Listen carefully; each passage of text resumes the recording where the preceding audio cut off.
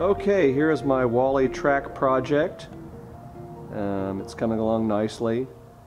Uh, the picture that you see below it is of the CG version. That's what I've been using as a reference in my build.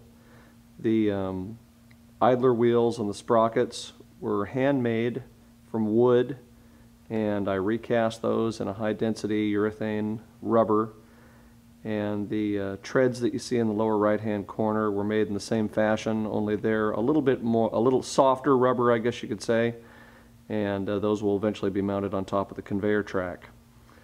The uh, motor that I use is an NPC 2212 and um, it's a nice um, high powered high torque uh, dual output shaft motor which is ideal for this particular um, project and uh, we're going to run the thing through its paces now, see how it holds up mechanically. If it looks like it's going to work properly, uh, we'll go ahead and cast up the rest of the rubber treads and get this thing out on the road. So uh, let's go take it out and give it a test. Okay, here we go.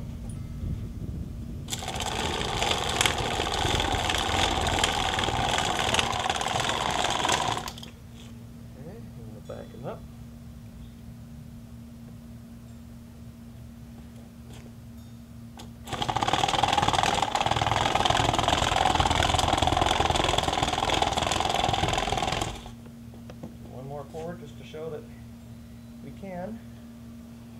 Keep from getting electrocuted here.